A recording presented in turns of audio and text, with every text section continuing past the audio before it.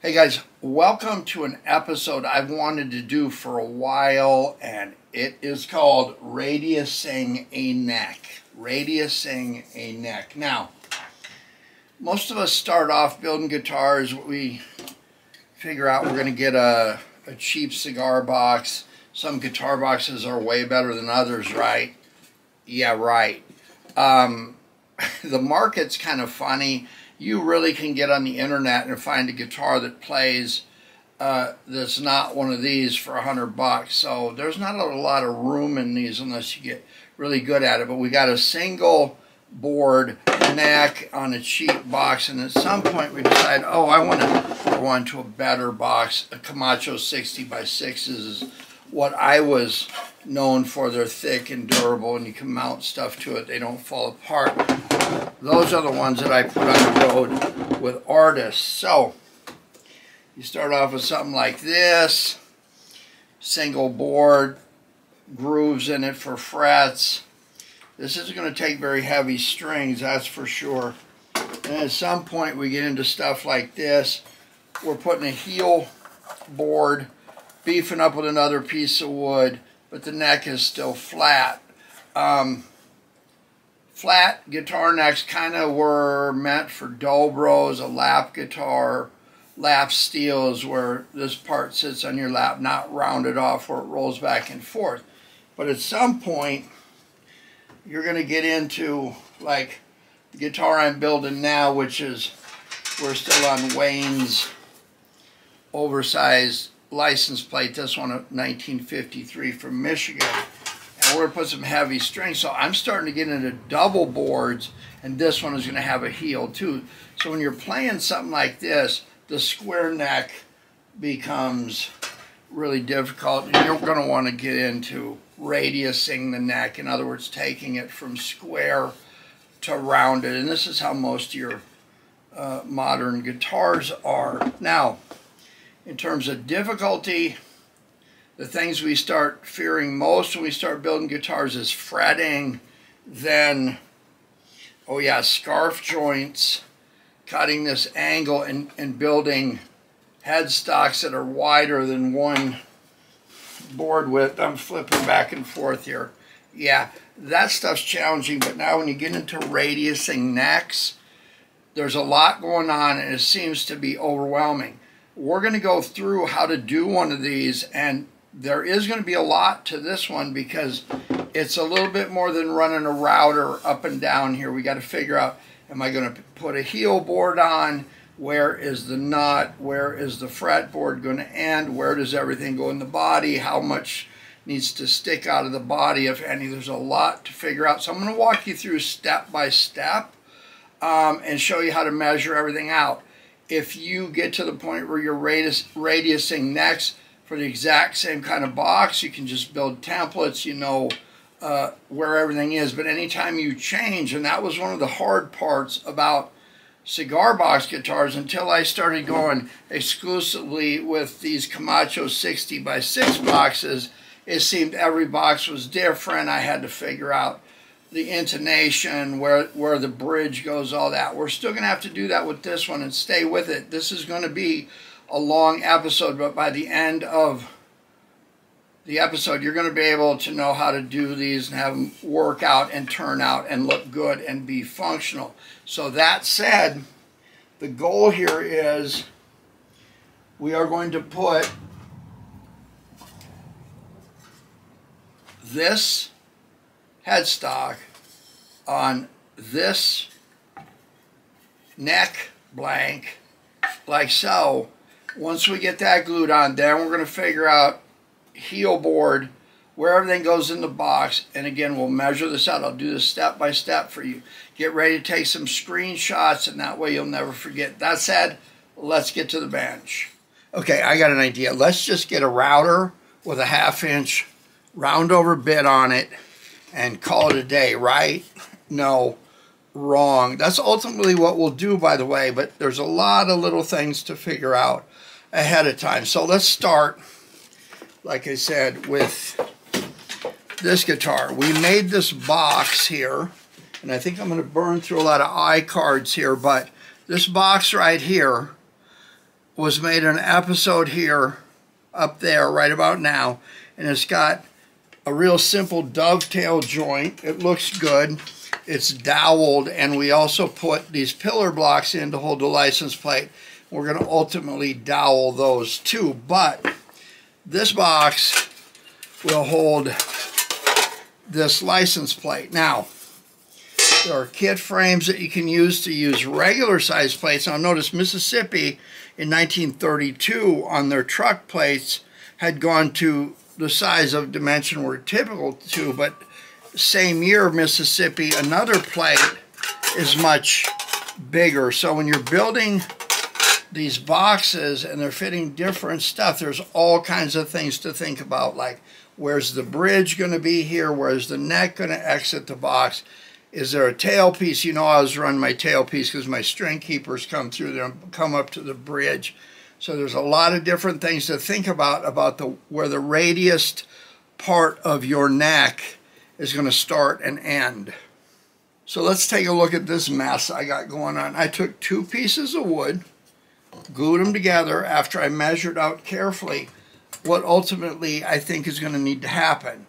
Let's get the clamps off of here. Okay, this is the part where you want to pay attention. Again, this is a board, two boards glued up together, and this, the overall length of the two put together is 43 inches. 43 inches. Why 43 inches? Well, there was a number of things to consider here, um, and they all relate to the box and ultimately to the license plate that goes on the box. Now, you've got to figure out on the box, where do I want my pickup? Do I want it away from the holes that hold the plate on? Do I want it covering something that is least conspicuous so I leave the plates, the, the let's say this is a personalized plate, and where do I want everything to line up? So say I want my bridge right here, that means my nut has to be on a 25 and a half scale guitar, which is what I do all my guitars in. The center of that would take me out here. You see my hand, that's where the nut will be. Then the headstock has to go on to that. And then also, I am going to run string keepers. So I need about two and a half inches, ultimately two, but I use two and a half inches here. So I need two and a half here, the length of the box, the length of the nut, and what I need to carry on to the headstock. So let's mark this up. Okay, you will notice that when I'm doing layout of necks and stuff, I will use inches instead of the metric system, and that's one of the few times. But I've got the end here. It's not perfectly flat, so I'm going to want to flush that. So I'm going to make a mark here at two and a half inches. I'm also going to say that this is the top, okay? Now I'm going to take and do a line with my square and I'm going to drop that down. I'm going to continue those marks on the side. So I'm going to line that up with the end of the box right there. Okay, now I'm going to want to know how wide the box is, the thickness of the box, and so I'm going to turn this over and I am going to run my square, that mark right there. I'm going to put that even with the end of the box. Now, I can see over here that I am making a mark where the box ends on the inside. You see that there? I'm going to mark that there. Now, sometimes I notch this out Sometimes I don't. In this case, I'm going to have another board. The heel board will end right here. And instead of exiting the box like the other two boards, it will be pinned right down here. I hope my camera's set up. So anyway, I've got that sitting there. Now I'm going to go to the front of the box and make sure that I'm in the right spot. I don't want the seam here pointed up. So I'm going to mark that there, and I'm going to mark the same deal on the front where the inside of the box wall is and where the outside is, like so. I'm going to carry those marks up here, like so. And then we'll transfer those to the top as well so we can see what's happening. So, got one more to do here. So, this will be, this part right here, will be the top of string keepers, SK, back, box, front, box. This is the body or the box itself, okay? Now, we decided that we wanted to lay the box out for a plate on the box and everything. I think I want the bridge right here. So, if I'm going to put the bridge right there, I line up everything. Back of the box, front of the box, all the wall thickness, and I'm going to make a mark right here. See that? We're going to mark this bridge. This is where the bridge is going to go. Okay, this is starting to become pretty complicated, huh? The whole thing is we're trying to figure out where the heel board is going to go, and then we're going to put the fretboard on and count where we want everything to end, which is the fretboard is going to end just past where the box starts.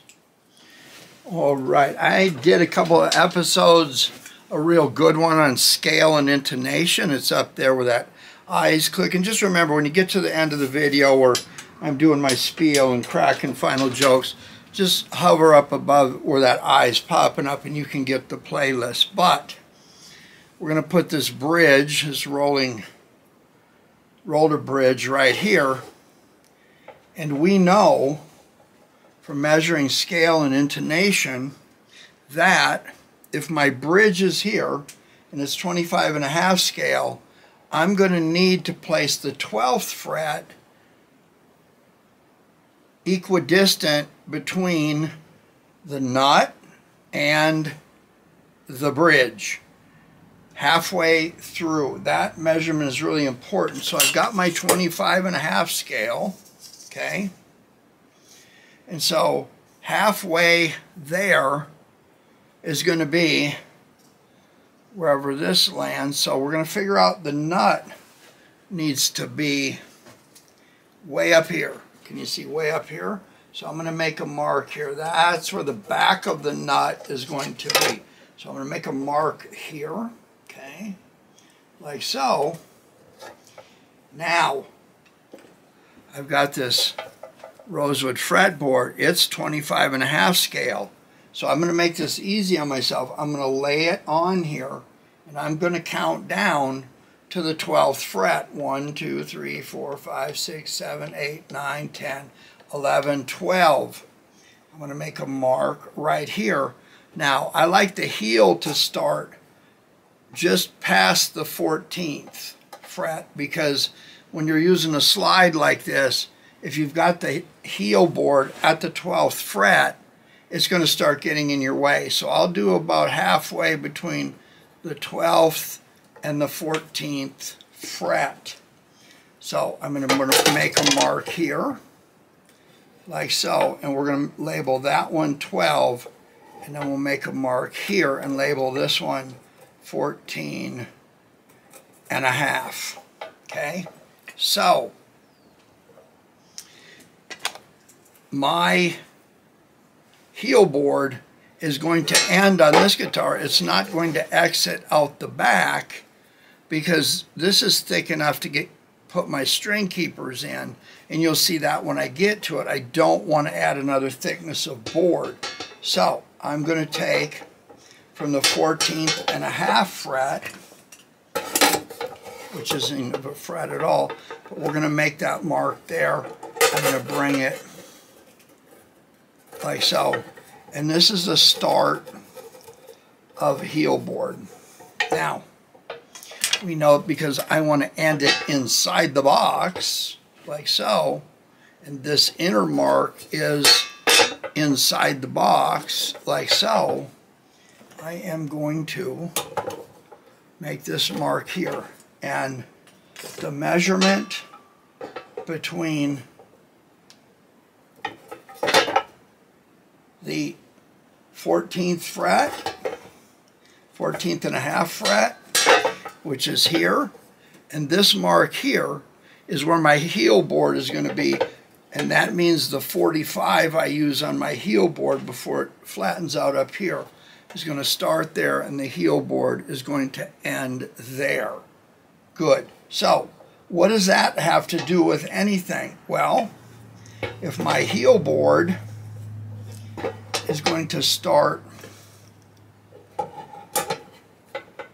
right here, my routing needs to take place between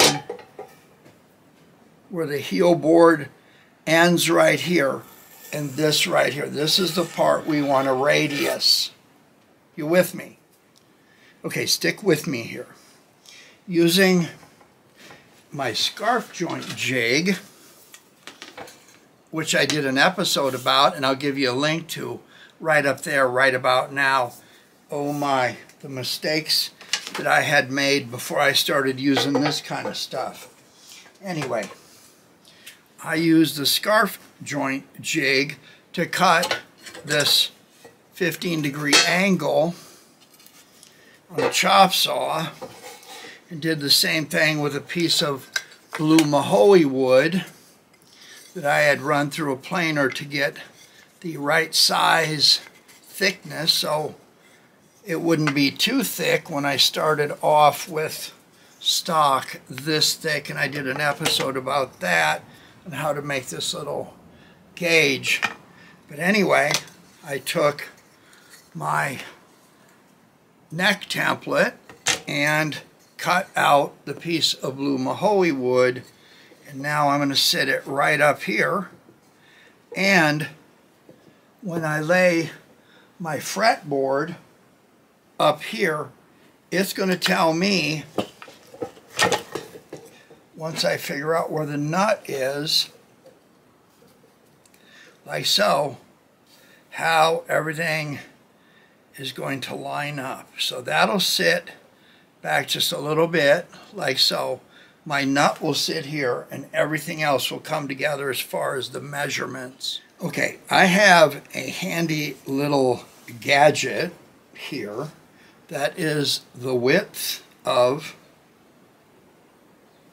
the neck board and I can put a mark in the center. And I actually use this for string spacing. But I can mark it wherever I want like that just by lining up the edges. And I'm doing a mark like that. I also mark off the headstock top and bottom to find the center so the idea here is, is I really don't have to find the center on this one. I just have to pull the headstock up to a point where this is nice and level. I can't have it uh, laying one way or the other because then it, it will throw up the fingerboard or the fingerboard will have a gap. So it's going to go right to there. Now I've told you guys I like making sure that rather than just having a glue surface here and having this match up, that I do perpendicular rods so the force pulling on the neck is constrained by something blocking it from just pulling up this way. It's actually stopping it from sliding back and forth. So I take my handy but worn pattern and I just put this on here and drill myself three holes wherever I want them to rod this. Once those holes are drilled, then I'm going to glue this up and leave it sit. All right, there's our triangular pattern. We're going to drill these out just the right size for this doweling. Now, we're not going to drill these out just yet into the neck. We're just going to draw these out here, drill them out, and then once the neck is set and glued up and the glue is starting to dry and we've got everything clamped, then we will drill the rest away through and put our dowel in. If you don't do that, it's going to drift all over the place.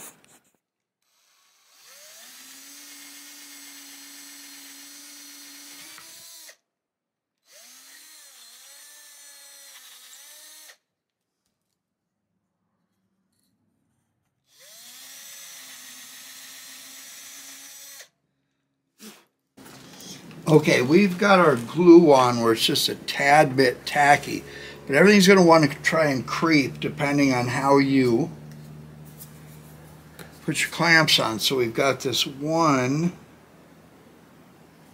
hole here drilled, and we're going to put the dowel in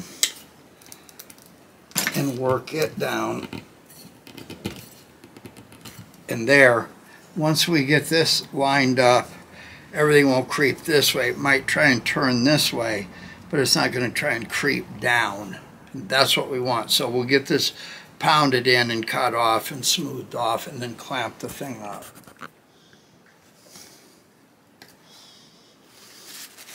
All right, there we go. We're going to let this sit for a little bit because once this is down, our measurements all line up and we can get to work on rounding over the neck. Okay, we are literally waiting for glue to dry on the headstock.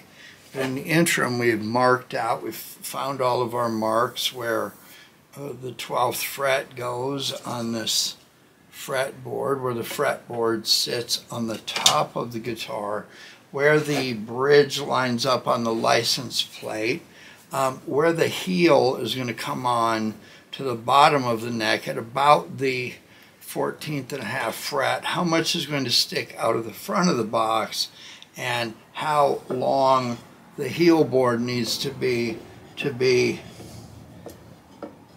stopping on the inside wall of the back of the box.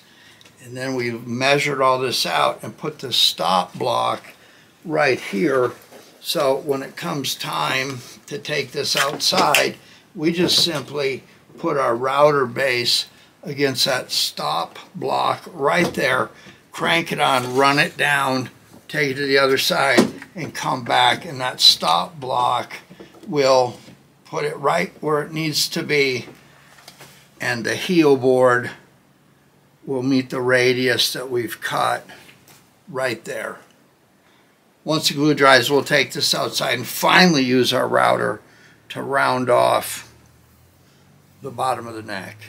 Okay, before I forget, let's talk about the tool we're going to use. This is a router. Um, it holds a number of, any number of variations of bits that will put edges on things, decorative patterns. But we are, what we are going to use is called a roundover bit. Uh, you can buy a set of these fairly economically. This one has quarter, three eighths, and half inch. And what happens is you mount the bit here.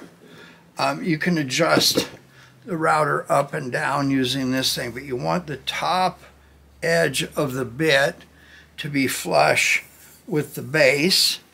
And then what happens is there's this little bearing here and when you start the router and push the router into the wood, it will cut away whatever is in the way until the bearing hits the base of the wood. So this is something that you could bullnose countertops with to make that rounded edge. So if you have a one inch piece of wood or slightly less than that, doing both sides makes it pretty much round. Now when you're using one of these, uh, rather than just going blindly, if you have a starting point that you've measured from the center of the bearing here to the edge and you put a stop block there when you go in with the router the router base will start at the stop block. It won't let it go back any and it will start right where you want. Now this won't get all the way across the bottom of the uh, neck board, the bottom neck board, so I'll use a rasp that will make short work of what the router does not get to. But again, basically you just set this on the base against your stop block, fire it up and just move it, pull it towards you on one side of the neck. If you're looking at the bottom of the neck, the left side, you'll be pulling it towards you. On the other side, you'll be pushing it away from you. If you start fighting the way that the router bit is turning, then it jumps all over the place and gouges everything. But again, that bearing hitting the bottom of the board, if there's anything beyond this, we'll keep everything where this is the only part that gets cut. Now let's get outside and I've got everything set up and we'll finally get to work. Okay, let's take our clamps off and one last time. We've measured out carefully where the heel board will fit. We put some marks there and put this stop block right here. So when we come in and move the router this way up to here, we can't get past where the rounded off part of the neck will fit into the heel board. Now, again, work with the spinning rotation. That means we come this way here and go that way here.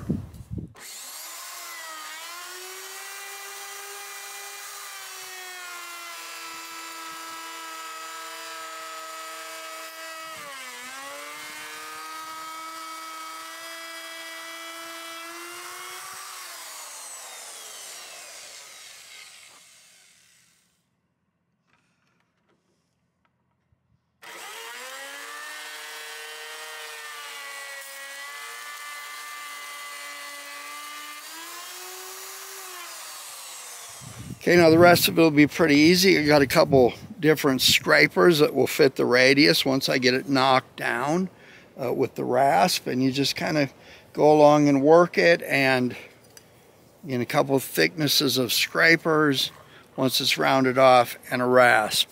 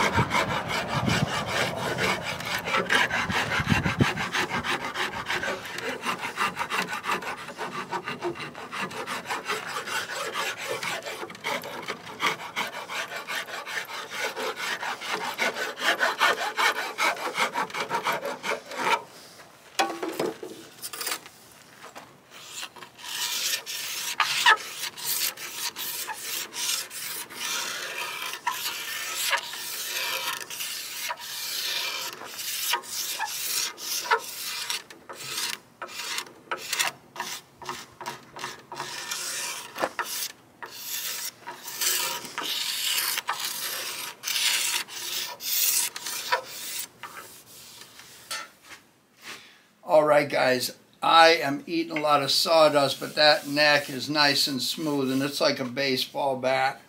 And the heel board matches up, and the best thing about it is it matches up with the box, and that is what we want. I still have all my fingers. Of course, I survived the Anadarko Basin oil and gas fields without losing my fingers, I don't want to do it here. But yeah, sorry it took so long. Sorry, not sorry. You've got everything you need to do to figure things out um, because nothing is worse than going through all this work and having it come together poorly in the end. This is going to be a good, beefy, sturdy guitar, kind of like the likes of old number 12. Hey, Troy Murrah. I'm going to give you guys a link down below. If you don't know who Restavrant is, you sure need to. That said, now you can build your own baseball bat next, and I'm sure glad y'all got to see me today. I'll see you next time when we start looking at, I don't know, I might drag this out for years and years and years. Now, we will see you next time. Don't forget to give me a like and subscribe if you have not. See ya.